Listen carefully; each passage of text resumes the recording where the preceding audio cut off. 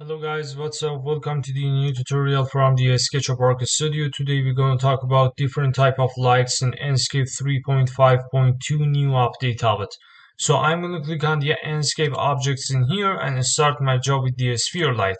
For drawing the uh, sphere light, you only need double click on your screen and sphere light created for you. So I'm going to move it in some place like that in here. And another light I'm going to talk about it is the uh, spotlight. Before I drawing the uh, spotlight, I need some line on the uh, blue axis, like that. So I'm going to click on the Enscape objects in here, click on the uh, spotlight. If I want some spotlight for the downside illumination, I must start my drawing from the downside to upside. How? I'm going to select and left click my first shot in here, second, third, and fourth click right here like that. So I'm going to click on the selection tool, delete these line in here, move this light in this place, and very simple, we create our spotlight. So I can take some copy from these spotlight in here, move it to the downside. I'm going to click on the flip tool. If you want some double-sided spotlight, you can press Control and click on the uh, blue axis. Now you can move your light like that to see what will happen in your 3D rendering and environment like this. Another light related to the uh, Enscape line light. Very simple. You only need to click like that to draw your light. And if I click on the move option and move it to this place, and increase it a little bit on the blue axis in here. For example, I need some line light about, for example, 1 meter or 2 meter.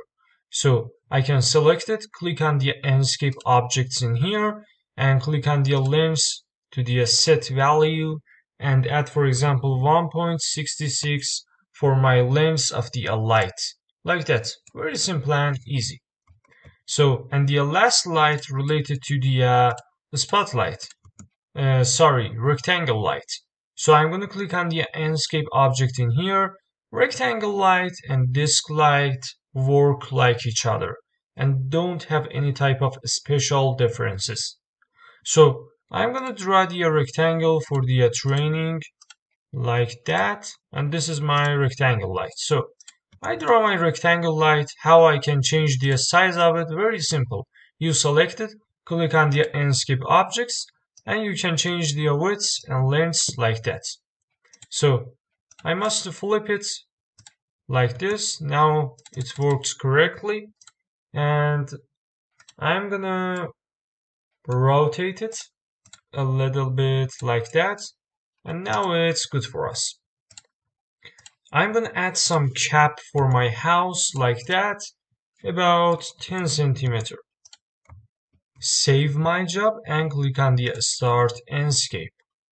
So it depends on your system, your graphic card and your VRAM on your PC or laptop.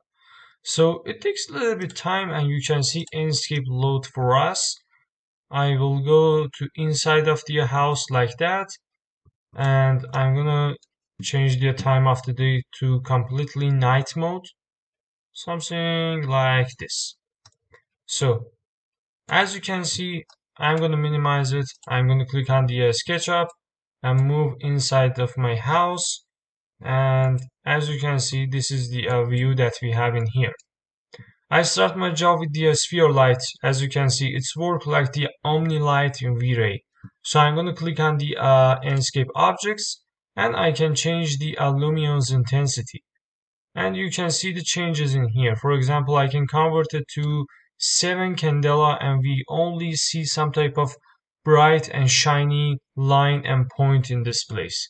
So I'm going to change it to the 46 for example. And when I increase the light source radius, as you can see, the radius of the uh, light intensity will increase in here. I uh, suggest that to you don't use it in any type of interior renders because it's a little bit work for professional jobs. So another light we have is the uh, spotlight. I'm going to click on it and for the uh, spotlight we have two parameters.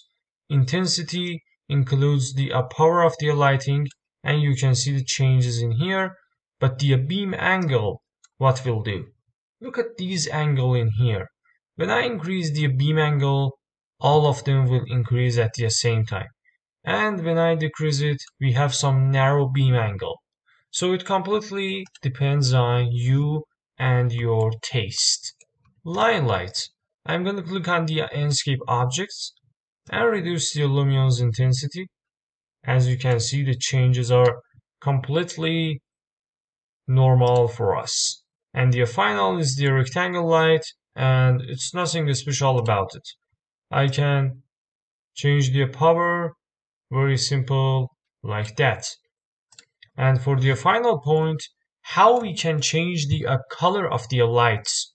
Very simple. Click on the paint bucket and select one of these colors and add it to your spotlight. As you can see the result completely changed for us.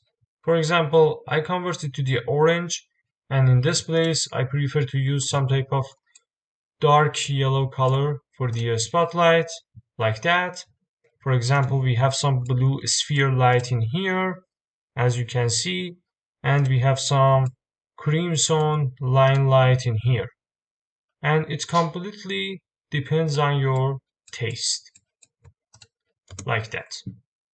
So finally I'm going to click on the save frame and I'm going to click on the view management create some simple view for myself like that and press create. And I'm going to click on the uh, visual setting focus on my targets 66 increase the rendering calculation of the lights to the ultra mode and use the auto contrast.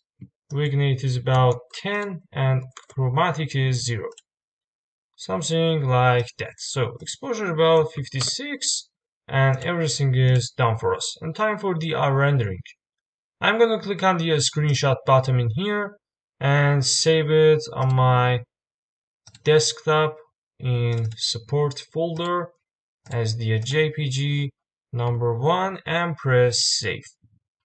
So in this video you learned how to work with the Enscape different lights in the SketchUp environment very simple and easy. Thanks for your watching, thanks for your support. If you like this video please like and subscribe our YouTube channel and share it with your friends. Thanks for your watching and goodbye.